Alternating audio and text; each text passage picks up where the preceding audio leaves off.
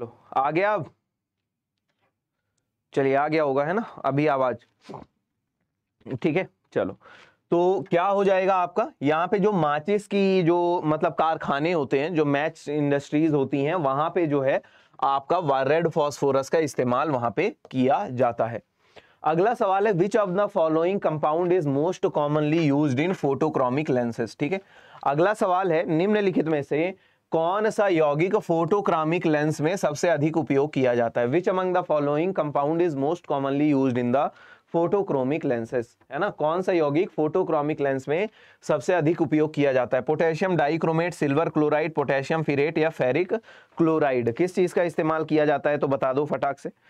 तो जो इस्तेमाल किया जाता है फोटोक्रोमिक लेंसेज में, वो सिल्वर क्लोराइड का इस्तेमाल किया जाता है। सिल्वर क्लोराइड यानी एच का इस्तेमाल किया जाता है, ठीक है? सिल्वर क्लोराइड का इस्तेमाल किया जाता है। फोटोक्रोमिक लेंस कौन से होते हैं, सर? फोटोक्रोमिक लेंस कौन से हुआ करते हैं? तो ऐसे लेंस जो धूप में अपना रंग बदल लिया करते हैं ना ऐसे कलर, लेंस जो अपना धूप में रंग बदला करते हैं, इस प्रकार से देखो कि जब आप घर के अंदर रहते हो, है ना? जब वहाँ पे घर के अंदर रहते हैं तो वो लेंस जो होता है, वो ऐसे सफ़ेद कलर के ट्रांसपेरेंट रहते हैं, है ना? लेकिन जैसे ही आप यहाँ पे धूप वगैरह में निकलते हो तो धीरे धीरे ये क्या होते हैं? काले रंग में बदलने लग जाते हैं। अक्सर देखा होगा कि बड़े बुज़ुर्ग लोग जिनको चश्मा लगता रहता है, जिनको उम्र के साथ चश्मा लग जाया करता है, वो मोस्टली ये वाला लेंस इस्तेमाल किया करते हैं, ठीक है? तो यहाँ पे फोटोक्रोमिक लेंस जो कि आपका जैसे ही सनलाइट आएगी तो वो धीरे धीरे क्या हो जाएगा? ट्रांसपेरेंट से ब्लैक ग्लास में चेंज हो जाएगा। उसको बनाने में सिल्वर क्लोराइड का इस्तेमाल किया जाता है, ठीक है? चलिए, निशांत गुड मॉर्निंग मेरे भाई। चलिए, अगला सवाल। The cell organelles is responsible to extract energy from carbohydrate to form ATP है ना? दिस सेल ऑर्गेनली यह सेल ऑर्गेनली एटीपी बनाने के लिए कार्बोहाइड्रेट से ऊर्जा निकालने के लिए जिम्मेदार है। है ना? तो कौन सा कोशिकांग जो है कार्बोहाइड्रेट से ऊर्जा निकालने के लिए जिम्मेदार होता है ताकि वो कोशिका के लिए ऊर्जा बना सके एटीपी के रूप में एडिनोसाइन ट्राइफॉस्फेट के रूप में? तो आंसर क्या होगा? आंसर होगा, जो होगा माइटोकॉन्ड्रिया ठीक है? माइटोकॉन्ड्रिया ये बहुत ही इंपॉर्टेंट सेल ऑर्गेनली है, बहुत ही महत्वपूर्ण कोशिकांग है। जो कोशिका के अंदर पाया जाता है और यही क्या करता है? यही आपका क्या बनाता है? एनर्जी प्रोड्यूस करता है। इसीलिए इसे क्या कहते हैं? एनर्जी प्रोड्यूस करता है और एनर्जी किस रूप में प्रोड्यूस करता है? एटीपी के रूप में प्रोड्यूस करता है। एडिनोसाइन ट्राईफॉस्फेट है ना? एडिनोसाइन ट्राईफॉस्फेट के रूप में और यही आपका क्या है? एनर्जी करेंसी के नाम से जाना जाता है ना?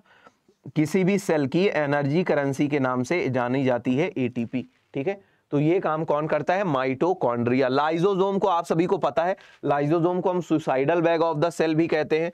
राइबोजोम प्रोटीन फैक्ट्री कहलाता है है ना? राइबोजोम प्रोटीन फैक्ट्री कहलाता है। क्लोरोप्लास्ट अलग चीज़ है। क्लोरोप्लास्ट आपका पौधों में मौजूद होता है, जिसके अंदर क्लोरोफिल होती है, फोटोसिंथेसिस होता है वहाँ पे। है ना? एडिनोसाइन ट्राईफॉस्फेट बिल्कुल। चलिए, एक बार बढ़िया से लाइक कर देंगे सभी मेरे भाई और शेयर भी कर देंगे सेशन को। आगे बढ़ते हैं। अगला सवाल आप सभी के स्क्रीन पे ये रहा।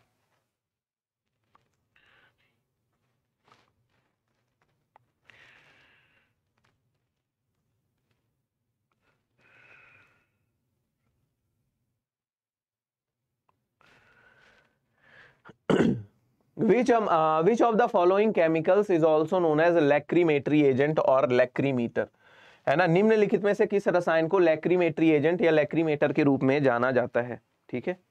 Which of the following chemical is also known as lacrimator या लैक्रीमेटरी एजेंट या लैक्रीमेटर मीटर आंसर क्या हो जाएगा? आंसर हो जाएगा टीयर गैस। बिल्कुल, बहुत ही बढ़िया आंसर। क्या हो जाएगा? टीयर गैस आपका करेक्ट आंसर होगा।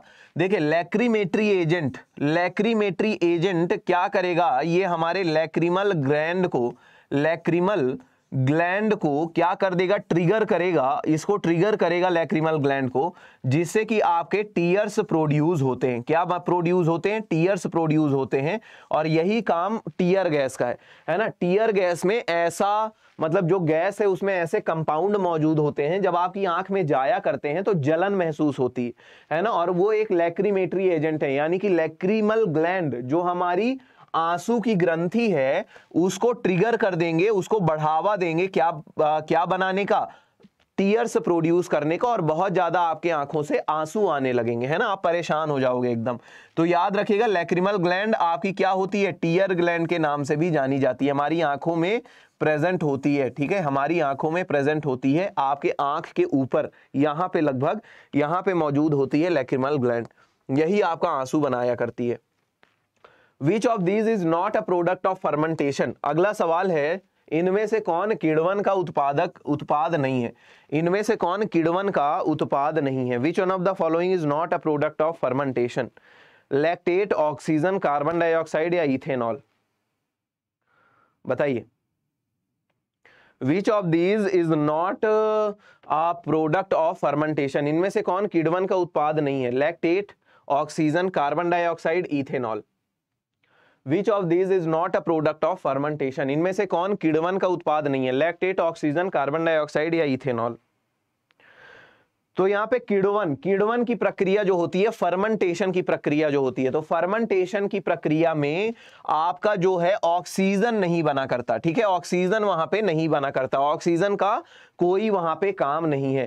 कार्बन डाइऑक्साइड बना करता है लैक्टेट बना करता है, आपका इथेनॉल वगैरह बना करता है, ये सारी चीज़ें आपकी बनती हैं, लेकिन वहाँ पर ऑक्सीजन का कोई काम नहीं होता, ठीक है? वहाँ पे ऑक्सीजन का कोई भी काम नहीं होता, ऑक्सीजन नहीं बना करता है आपका फर्मेंटेशन कीड़वन की प्रक्रिया में। क्लियर है? ऑक्सीजन की जगह में कार्बन डाइऑक्साइड बनती है। अगला सवाल the four small gland in the gland are also known as thyroid ग्रंथि में चार छोटी ग्रंथियाँ क्या कहलाती हैं? थाइरॉइड ग्रंथि में चार छोटी छोटी ग्रंथियाँ पीछे की तरफ़ मौजूद हैं, उनको क्या कहते हैं? The four small gland in the thyroid gland are also known as तो उनको हम क्या बोला करते हैं? हमारी थायराइड ग्लैंड ऐसे गर्दन में मौजूद होती है। कहाँ मौजूद होती है? हमारे गर्दन में आपकी थायराइड ग्लैंड ऐसे यहाँ पे मौजूद होती है, ठीक है? तो यहाँ पे जो है, अरे, माफ़ करिएगा हाँ यहाँ पे आपकी तितली के आकार की ये ग्लैंड यहाँ पे मौजूद होती है, ठीक है? हमारे थायराइड ग्लैंड कहाँ मौजूद होती है? हमारे नेक में मौजूद होती है, थायराइड ग्लैंड, ठीक है? उसी में पीछे की तरफ़ उसी ग्लैंड में आपके पीछे की तरफ़ चार छोटी छोटी ग्रंथियाँ होती हैं। उन्हें हम पैराथाइरॉइड ग्लैंड कहा करते हैं। क्या कहते हैं? उसी में चार छोटी छोटी ग्रंथियाँ होती हैं पैराथाइरॉइड ग्लैंड कहते हैं, और ये पैरा थाइरोक्सिन हार्मोन रिलीज़ किया करती हैं पैराथाइरोक्सिन हार्मोन। तो इनको क्या कहते हैं? पैराथाइरॉइड ग्लैंड कहते हैं। ये बटरफ्लाई शेप ग्लैंड है, ये भी याद रखिएगा। गर्दन में पाई जाने वाली नेक में पाई जाने वाली बटरफ्लाई शेप ग्लैंड ये आपकी होती है। ठीक है? यहाँ पे ये भी बना देते हैं। नहीं तो पता नहीं चलेगा। देखो कितना अच्छा लग रहा है ये। ठीक है? ये देखो। अच्छा लग रहा है ये। ठीक है? आगे बढ़ते हैं अगला सवाल। What is the average power consumption of heart beat in an adult what is the average power consumption of a heart beat in an adult एक वयस्क में दिल की धड़कन की औसत बिजली खपत कितनी होती है? एक वयस्क में दिल के धड़कन की औसत बिजली खपत कितनी होती है? है ना?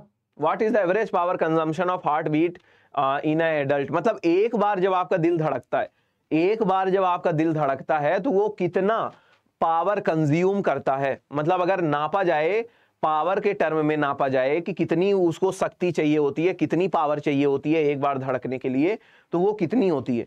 तो वो आपका जो होता है वहाँ पे 1.2 वाट पावर होती है, ठीक है? कितनी यूज़ होती है? 1.2 वाट पावर एक हार्ट बीट के लिए आपकी चाहिए होती है, ठीक है? एक हार्ट बीट के लिए आपकी चाहिए होती है 1.2 वाट पावर ठीक है? चलिए अगला सवाल बढ़ते हैं। कोई बात नहीं मेरे भाई निशांत है ना? चलिए आगे बढ़ते हैं अगले सवाल में शानदार तरीके से।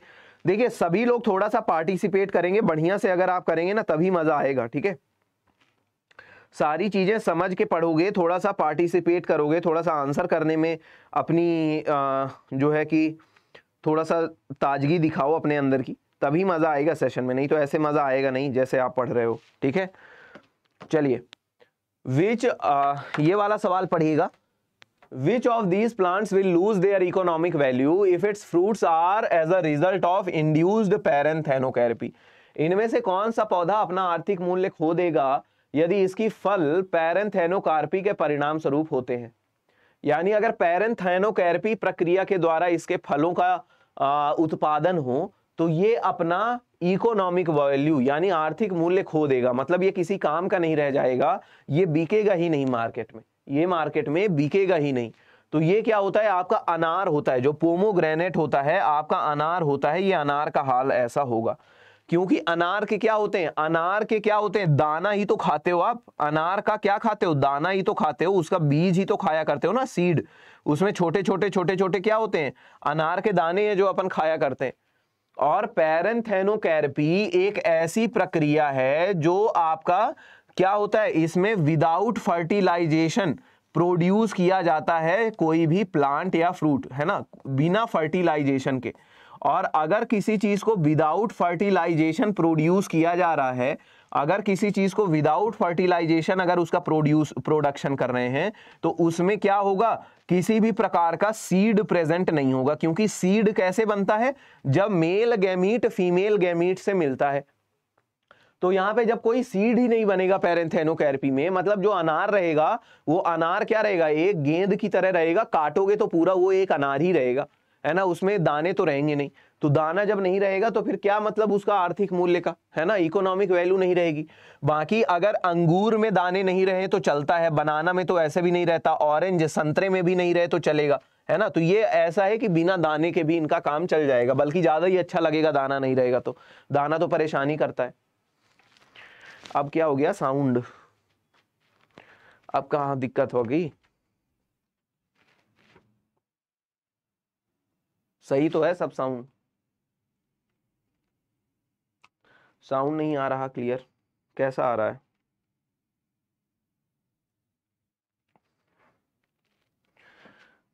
कैसा आ रहा है साउंड रुक जाओ, मैं देखूँ।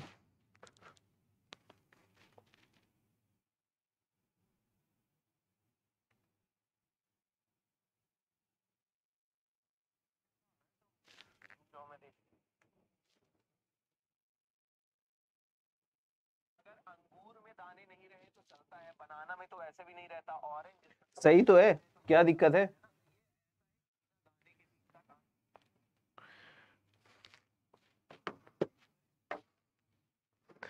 चलो। अरे, तुम लोग फालतू कंफ्यूज करते हो। अगला सवाल है the persistence of vision for the human eye is मानव आँख के लिए दृष्टि की दृढ़ता कितनी होती है? है ना? Persistence of vision the persistence of vision for the human eye is मानव आँख के लिए दृष्टि की दृढ़ता कितनी होती है? तो ये कितनी होती है? One by sixteen of the second. One by sixteen of the second. एक सेकेंड का एक बटे सोलवा भाग। एक सेकेंड का एक बटे सोलवा भाग होता है परसिस्टेंस ऑफ़ विजन ठीक है? यानी कि आपका ऐसा समझ लीजिए कि जैसे आपकी आँखों से अगर हम तस्वीर निकालते हैं ना जल्दी जल्दी आपकी आँखों से के सामने से फ़ोटो निकाले तो अगर हम एक बटे सोलवें सेकेंड के अंदर अगर वो दोनों फ़ोटो आपके आँख से सामने से निकाल देंगे तो आप उनको अलग अलग जो है डिस्टिंग्विश नहीं कर पाओगे। आप उनको अलग अलग ध्यान से नहीं देख पाओगे। आपको लगेगा एक ही फ़ोटो निकल गई है ना? तो वही है। तो ऐसा होता है कि आपका जो मूवी वगैरह पहले जो फ़िल्में वगैरह बनती थी उनमें जो रील लगी रहती थी वो रील क्या होती थी? बे, बेसिकली फ़ोटो होती थी और फ़ोटो बदलती जाती थी लगातार जल्दी जल्दी और आपको पता नहीं चल पाता था कि ये फ़ोटो बदल रही है। आपको लगता है आप आ, मतलब जो है उसमें स्क्रीन में लोग चल रहे हैं वो मूवी की तरह चल रहा है ठीक है? तो उसी तरह से मूवीज़ भी काम करती थी पहले के टाइम में ठीक है? तो एक बटे सोलहवें सेकंड के अंदर आपके सामने से अगर दो वस्तुएँ निकले तो आप उनके बीच में अंतर नहीं बता पाओगे। इसी को कहते हैं दृष्टि की दृढ़ता परसिस्टेंस ऑफ़ विजन लेकिन अगर एक बटे सोलह सेकंड से ज़्यादा हो गया तो आप अंतर बता लोगे दोनों की चीज़ में है ना? चलिए आगे बढ़ते हैं। The tissue that provides the tissue that provides maximum mechanical strength through the plant is पौधों को अधिकतम यांत्रिक शक्ति प्रदान करने वाला ऊतक कौन सा है? The tissue that provides maximum mechanical strength to the plant is पौधे को अधिकतम यांत्रिक शक्ति प्रदान करने वाला ऊतक कौन सा है? Xylem phloem parenchyma collenchyma तो मैक्सिमम मैकेनिकल स्ट्रेंथ जो प्रोड्यूस करने वाला आपका टिश्यू है, वो है कॉम्प्लेक्स परमानेंट टिश्यू जाइलम ठीक है? तो मैकेनिकल स्ट्रेंथ भी ये प्रोवाइड किया करता है। याद रखिएगा, ये वाटर कंडक्शन तो करता ही करता है। वाटर कंडक्शन का तो काम करता ही करता है। लेकिन इसके अलावा जो है, ये आपका मैकेनिकल स्ट्रेंथ भी प्रोवाइड करने का काम करता है, ठीक है? तो जाइलम टिश्यू होता है जो ये काम आपका किया करता है। Kepler's second law is also known as. Kepler के दूसरे नियम को किस रूप में जाना जाता है? Kepler's second law is also known as Kepler के दूसरे नियम को किस रूप में जाना जाता है? Law of period law of areas law of orbits या लॉ ऑफ़ प्लेनेट जो फ्लोएम है बिल्कुल फ़ूड ट्रांसपोर्टेशन करता करता है फ़ूड का ट्रांसपोर्टेशन करता है। Kepler's second law of planetary motion किस नाम से जाना जाता है और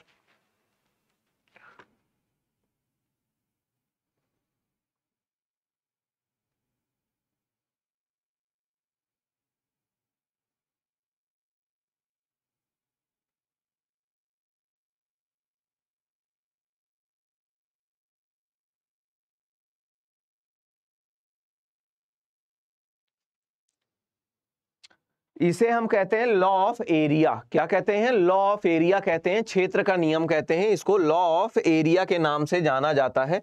Kepler's law of planetary motion है ना? कैपलर का क्या कहना है? कि एक निश्चित समय अंतराल में, एक फिक्स्ड इंटरवल ऑफ़ टाइम में कोई भी प्लेनेट अगर सन के चारों ओर चक्कर काट रहा है तो वो इक्वल एरिया स्वाइप करेगा। इक्वल एरिया क्या करेगा? वो स्वाइप करेगा, है ना?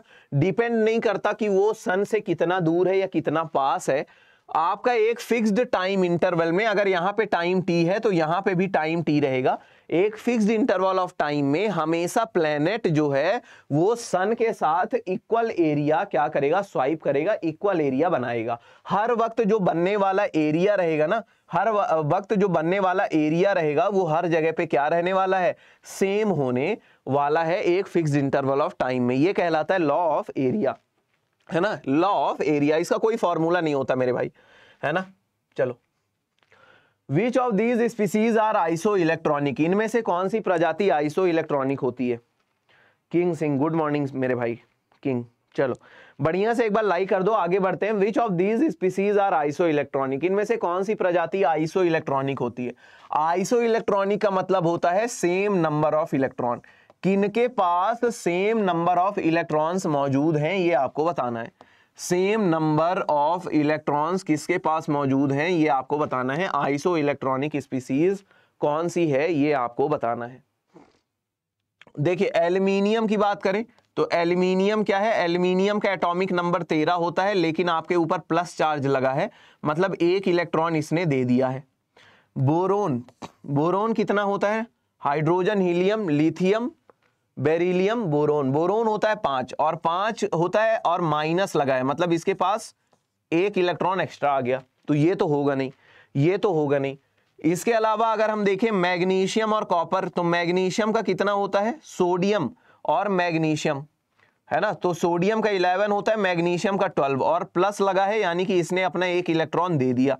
कॉपर कितना होता है? 29 29 के ऊपर माइनस है मतलब इसको एक इलेक्ट्रॉन मिल गया। तो ये भी नहीं होगा, ये भी नहीं होगा, ये भी नहीं होगा। सोडियम और एल्यूमिनियम, सोडियम कितना होता है? 11 और 11 के ऊपर प्लस चार्ज है, यानी कि इसके पास 10 इलेक्ट्रॉन है। एल्यूमिनियम कितना होता है? 13 एल्यूमिनियम के ऊपर माइनस चार्ज है मतलब इसको एक इलेक्ट्रॉन मिल गया है तो ये भी नहीं होगा, एक ही बचा, यही आपका आंसर होगा। चाहे तो आप चेक कर लो, सोडियम होता है इलेवन इलेवन के ऊपर प्लस चार्ज है सोडियम के ऊपर, यानी कि ये एक इलेक्ट्रॉन अपना दे दिया है। फिर फ्लोरीन है, फ्लोरीन के ऊपर माइनस चार्ज है।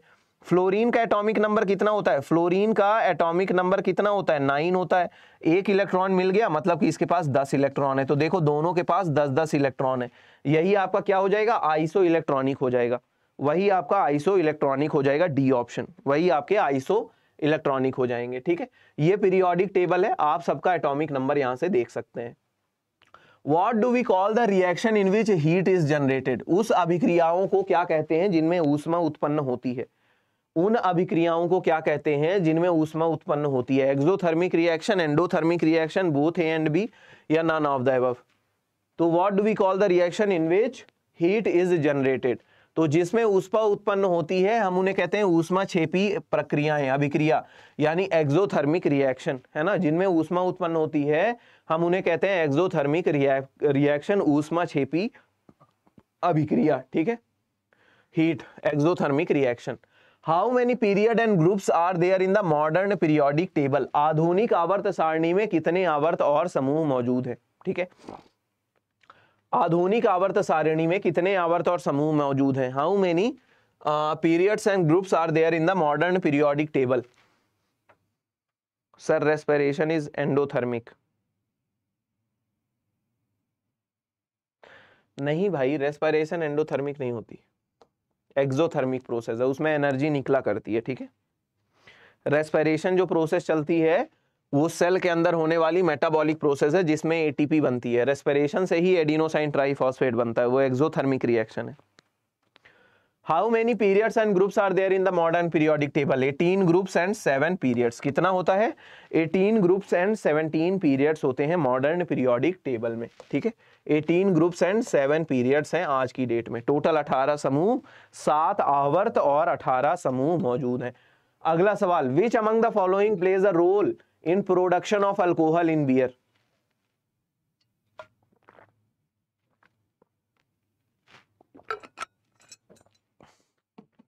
निम्नलिखित में से कौन बियर में अल्कोहल के उत्पादन की भूमिका क्या बोला है? निम्नलिखित में से कौन बियर में अल्कोहल के उत्पादन में भूमिका निभाता है? Which among the following plays a role in the production of alcohol in beer protozoa bacteria yeast या वायरस तो ये कौन करता है? ये आपका खमीर का काम होता है, ईस्ट का काम होता है, ठीक है? ये काम किसका होता है? ईस्ट का काम होता है, जो कि अल्कोहल के उत्पादन में भूमिका निभाता है, ठीक है? अल्कोहल बनाने में।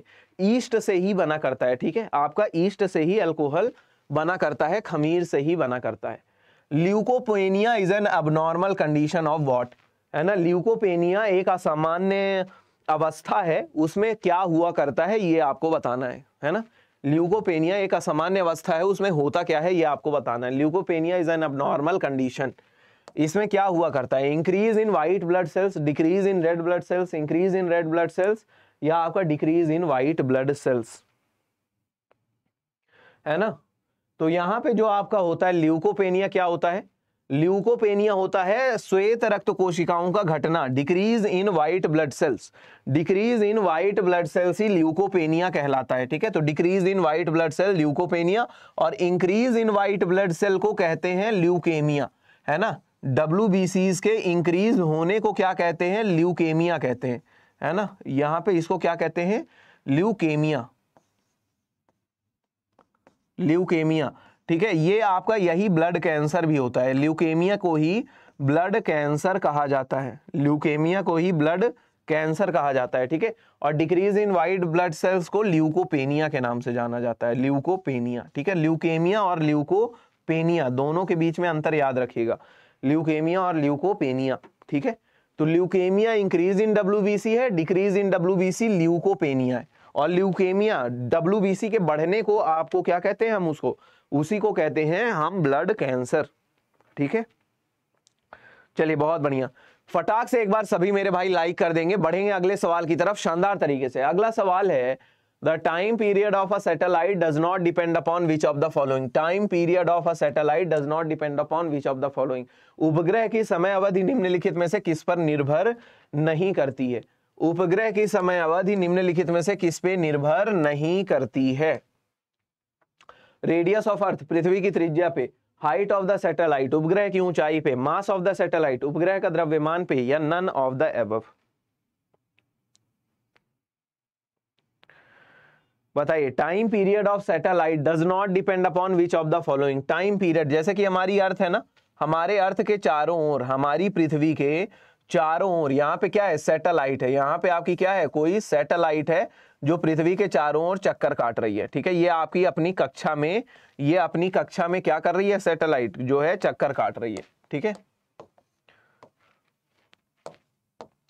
अपनी कक्षा में ये सैटेलाइट जो है, चक्कर काट रही है पृथ्वी के चारों ओर।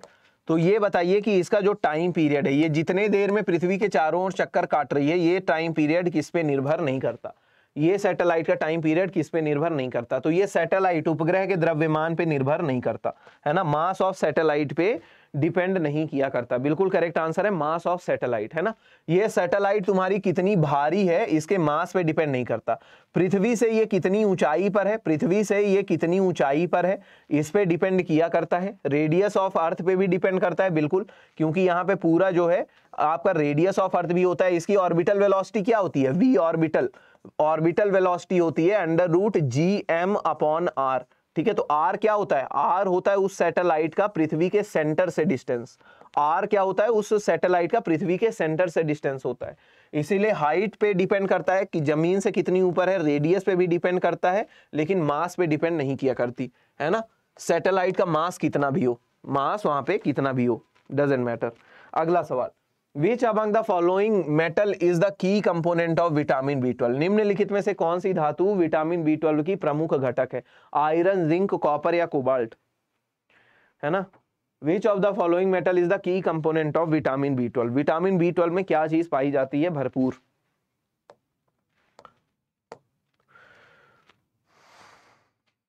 बिल्कुल कोबाल्ट कंटेनिंग विटामिन ये होती है कोबाल्ट कंटेनिंग क्योंकि विटामिन बी ट्वेल्व का केमिकल नेम क्या है? साइनो कोबालामिन क्या कहते हैं इसको? साइनो कोबालामिन कहते हैं साइनो कोबालामिन या साइनो कोबालामाइन ठीक है? ये आपका केमिकल नेम होता है। इसमें एक वर्ड देखिए, यहाँ पे छुपा हुआ है कोबाला यहीं से आपको याद रखना है इसके केमिकल नेम से कि ये कोबाल्ट कंटेनिंग विटामिन आपकी होती है। कोबाल्ट कंटेनिंग विटामिन आपकी होती है, ठीक है? विटामिन आपकी होती है। अगला सवाल।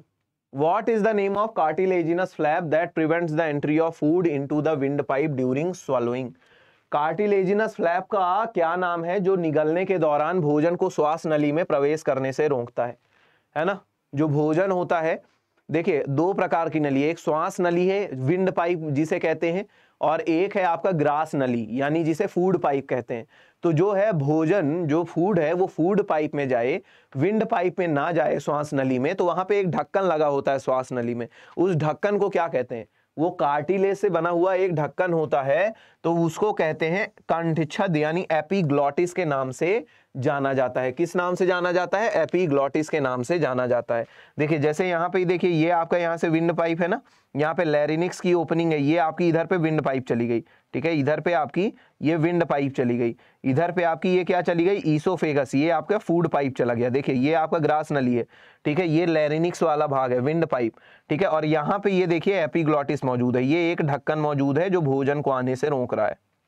यही क्या कहलाता है? एपीग्लॉटिस यही क्या कहलाता है? एपीग्लॉटिस जो कि फ़ूड पाइप को यहाँ पे बचा रहा है कि जो भोजन है वो जीव से आपका कहाँ चला जाए? ईसोफेगस में जाए, ना कि इधर पे विंड पाइप में आए, ठीक है? तो ये क्या कहलाता है? एपीग्लॉटिस आपका कहलाता है, ठीक है? है ना? और लैरिनिक्स को लैरिनिक्स को ही वॉइस बॉक्स कहा जाता है, ठीक है? यहीं से आवाज़ आपकी निकला करती है। इसी को वॉइस बॉक्स भी कहते हैं, लैरिनिक्स को। Which element helps James Chadwick to discover neutron बताइए, है ना? जेम्स चैडविक को न्यूट्रॉन की खोज में किस तत्व ने मदद करी थी? जेम्स चैडविक को न्यूट्रॉन की खोज में किस तत्व ने मदद करी थी? ये आपको बताना है।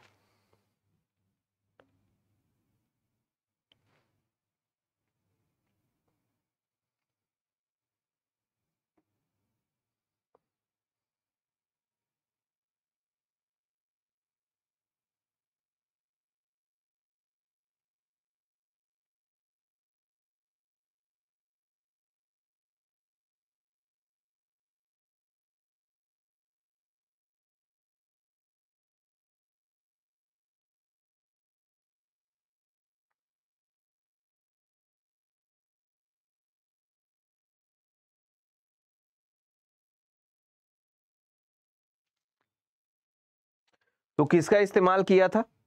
जेम्स चैडविक ने न्यूट्रॉन की डिस्कवरी में इस्तेमाल किया था बेरिलियम का। किसका इस्तेमाल किया था? जेम्स चैडविक को बेरिलियम जो है, एलिमेंट, उसकी हेल्प से उन्होंने क्या किया था? आपका न्यूट्रॉन की डिस्कवरी करी थी, है ना? न्यूट्रॉन की डिस्कवरी करी थी। Who gave the law of conservation of mass द्रव्यमान संरक्षण का नियम किसने दिया था? द्रव्यमान संरक्षण का नियम किसने दिया था? Law of conservation of mass किसने दिया था? Law of conservation of mass किसने दिया था? तो ये दिया था एंटोनियो लेवोजायर ने, है ना? एंटोनियो लेवोजायर नाम के साइंटिस्ट थे, इन्होंने कंजर्वेशन ऑफ़ मास द्रव्यमान का संरक्षण का नियम दिया था यहाँ पे, ठीक है?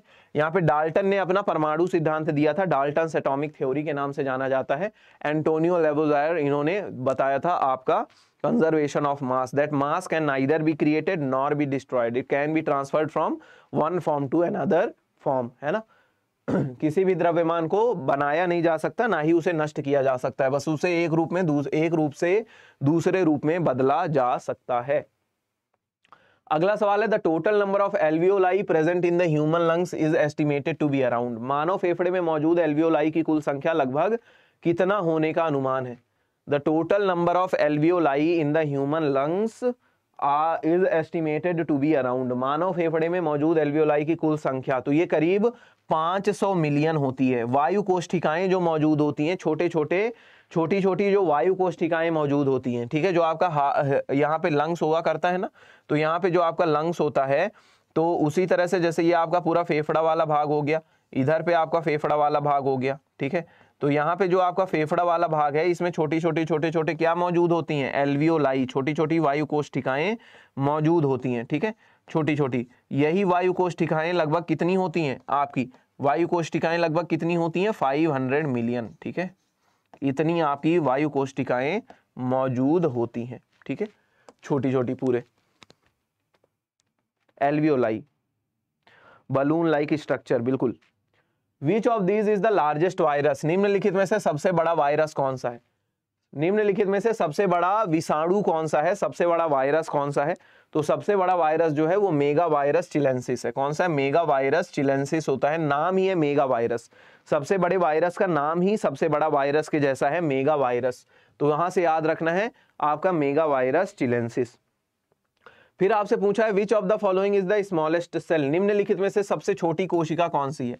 निम्नलिखित में से सबसे छोटी कोशिका कौन सी है? Which of which of the following is the smallest cell virus bacteria yeast protozoa virus bacteria yeast या माइकोप्लाज्म तो आंसर क्या हो जाएगा? स्मॉलेस्ट सेल क्या हो जाएगा? माइकोप्लाज्म हो जाएगा। स्मॉलेस्ट सेल क्या हो जाएगा? आपका माइकोप्लाज्म हो जाएगा, है ना? माइकोप्लाज्म स्मॉलेस्ट सेल है। माइकोप्लाज्म स्मॉलेस्ट सेल है। DNA is what by nature? DNA स्वभाव में किस प्रकार का होता है? एसिडिक, बेसिक, न्यूट्रल या एम्फोटेरिक? डीएनए किस तरह के हुआ करते हैं? तो डीएनए का अगर आप फुल फॉर्म जानते हैं तो आप बता लेंगे, डीएनए का फुल फॉर्म क्या हुआ करता है मेरे भाई? डीएनए का। Deoxyribonucleic acid. क्या होता है डीएनए का फुल फॉर्म? अरे, डीएनए का फुल फॉर्म तो तुम जानते होगे ना deoxy ribo nucleic acid. Deoxy आपका राइबो न्यूक्लियाइक एसिड। तो अगर यहाँ पे deoxy ribo nucleic acid DNA का फुल फॉर्म है तो यहाँ पे एसिड आ रहा ना, यानी डीएनए अम्लीय होता है। डीएनए कैसा होता है? एसिडिक होता है। भाई, नाम ही है है ना? स्पेलिंग ये डाईऑक्सी राइबो न्यूक्लियाइक एसिड तो यहाँ पे आपका डीएनए कैसा होगा? एसिडिक होगा, ठीक है? चलिए तो यहीं पे खत्म करते हैं आज की क्लास है ना? उम्मीद करता हूँ सभी को मज़ा आया होगा। गाइज़ ये देख लेना एसएससी का 2023 का नया प्लान्स आपके आ चुके हैं। ये नए प्लान्स में आप एसएससी लाइट एसएससी एलिट और एसएससी सुपर एलिट तीन पैक ले सकते हैं, जिन बच्चों को केवल मॉक टेस्ट चाहिए होता है फुल लेंथ मॉक टेस्ट वो लाइट पैक ले सकते हैं, जिनको सेक्शनल वाइज टेस्ट भी चाहिए होता है प्रीवियस ईयर पेपर भी चाहिए, साथ में फुल लेंथ मॉक टेस्ट चाहिए तो वो सुपर एसएससी एलिट ज्वाइन कर सकते हैं और सुपर एलिट में आपको सारी लाइव क्लासेस और वीडियो क्लासेस भी मिल जाती हैं। यहाँ पे मैक्सिमम डिस्काउंट और फाइव एक्स्ट्रा पाने के लिए आप कोड यूज़ करिए, सौरभ। ठीक है? कोड यहाँ पे यूज़ करिए सौरभ और मिलेगा आपको मैक्सिमम डिस्काउंट सारे एसएससी प्लान्स में। तो ज्वाइन करिए ऑली बोर्ड और तैयारी करिए अपनी हमारे साथ में। ये मेरा टेलीग्राम ग्रुप है साइंस बाई सौरभ सर तो यहाँ पे आपको इन सारी क्लासेस की पीडीएफ्स मिलेंगी तो आप यहाँ पे मुझे ज्वाइन कर सकते हैं इस टेलीग्राम ग्रुप में, ठीक है? चलिए तो उम्मीद करता हूँ सभी को मज़ा आया होगा, सारी चीज़ें आप समझे होंगे। एक बार वीडियो को लाइक ज़रूर करेंगे, ठीक है? और चलिए यहीं पे ख़त्म करते हैं आज की क्लास को। मिलेंगे शाम को चार बजे एलजेब्रा का। आज आपकी क्लास पार्ट फोर है। बहुत इंपॉर्टेंट इंपॉर्टेंट सवाल एलजेब्रा में भी अभी हमें करने हैं। तो मिलते हैं अगली क्लास में। तब तक के लिए ख्याल रखेंगे। Take care bye and have a nice day guys